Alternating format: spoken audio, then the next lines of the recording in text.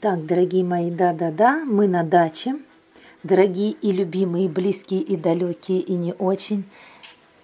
Вон, смотрите, какая красота у меня. Красота, красота, красотулечка. Вон там и хиноцея. Вон она. Будем из нее квас делать. Тоже. Да-да-да. Она меня уже ждет. А рядом с ней гайлардия. Кустик тоже красивый. А перед ними вот эта традисканция. Утром она фиолетовая. Ну, сейчас она не фиолетовая, поэтому... Ладно, я не об этом. Я вот к чему. Насобирала, сегодня у меня операция вишни. Насобирала сейчас вишню 5 э, килограмм и 5 килограмм насобирала шелковицы. Или тутошки, кто где как ее называют. В общем, будем делать варенье. Но для начала я поудаляю все косточки. Часть вишни я закатаю, сделаю варенье, а часть вишни просто заморожу. Но опять-таки без косточки. Вот эта часть у меня на заморозку, вот эта часть у меня на варенье. Вот это на варенье. Все. Вот такие у меня планы на сегодня. Такие у меня планы, дорогие мои. Все. Что будет дальше, я вам расскажу. Что ты там изучаешь, скажи мне? Я Да, играю в Clash of Clans. ясно. Понятно. Ой, как красиво ве- вечером. А, Жанночка уже приехала, ты видишь? На, снимай меня. Чуть-чуть. Надо, да, только не надо приближать. Издалека красиво. Я помашу тебе.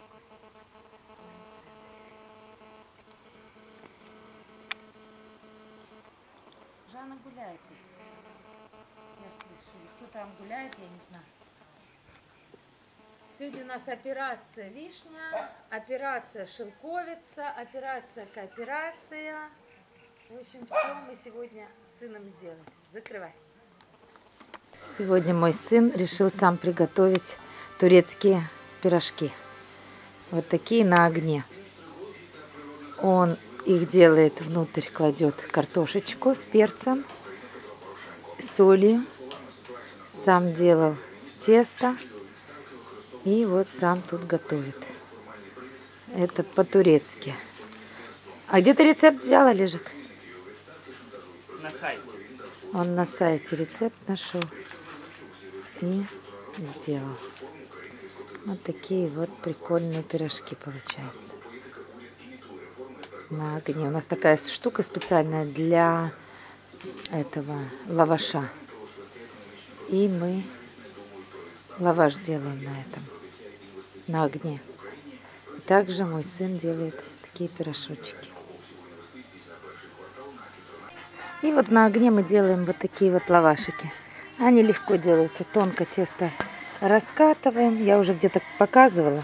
И так, хоп, хоп, перевернули и готово. А еще делаем вот такие вот пирожки с сыром и с зеленью, и с картошечкой. Вот. И э, там окорочка или мяско. Пожалуйста, все готово. Так что так мы проводим лето. Так, ну что, все, закончили мы жарить с сыном себе лаваши, пирожки. Все, тут приходит ко мне соседка. Говорит, что у вас тут музыка громко, что вы тут радуетесь. Вот, там такие проблемы, тут такие проблемы, что вы тут радуетесь. Я говорю, мы не радуемся, мы просто живем. Мы просто живем. Но она вот с нами побыла немножко, мы ее угостили тут с кефирчиком, дали ей лаваши, дали ей пирожки. В общем, она побыла здесь буквально минут 20, у нее уже настроение совсем другое. Я говорю, Святой Дух ведет нас.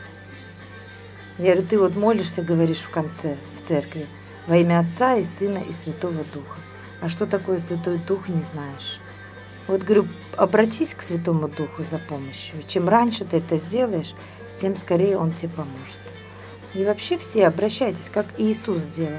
Иисус же тоже обращался. Вот, например, римлянам там 8.14 написано, «Ибо все, водимые Духом Божьим, суть сыны Божьи». Водимые Духом Божьим. Он вас не приведет куда-то не туда. Он вас приведет туда, куда надо. И там Иисус трижды назвал Святого Духа Духом истины. Там в Иоанна, по-моему, глава 14. Там такое есть.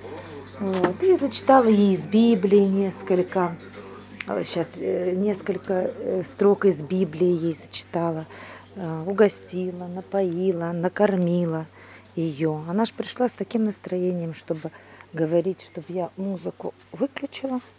Все, она хочет лечь спать. А я музыку, ну не так прямо на всю, а так на кухне, вот как я сейчас отошла, уже не слышно. Вот. И потом я ее провела, показала ей свои цветочки альпийская астрочка. Запах такой дает классный. Свой газон, который вот мне постричь надо. Показала ей, что я хожу босиком. Вот, что я лечусь. Напоила ее еще, кроме кефирчика, она попросила квас. Квас. И тут же рецепт захотела взять. Понимаете, вот так вот мы слово за слово зацепились. И пошло, поехало, и уже совсем у нее другое настроение. Уже ей жить захотелось. Вот так вот. Вот и все, дорогие мои. Так что живите, никогда ни на кого не злитесь. Кстати, у меня дорожка обновилась. Вот у меня новая теперь дорожка. Видите, потихонечку я все улучшаю и улучшаю свое здесь место жительства на даче. У меня теперь дорожка, видите, какая красивая. Вот такая вот у меня дорожка. Мало того, вот сейчас она зелененькая, а еще сделаем прожилки вот здесь, которые, мы сделаем их коричневыми. Сын вчера зеленого цвета покрасил с мужем. А теперь еще коричневую привезет краску, сделаем коричневым.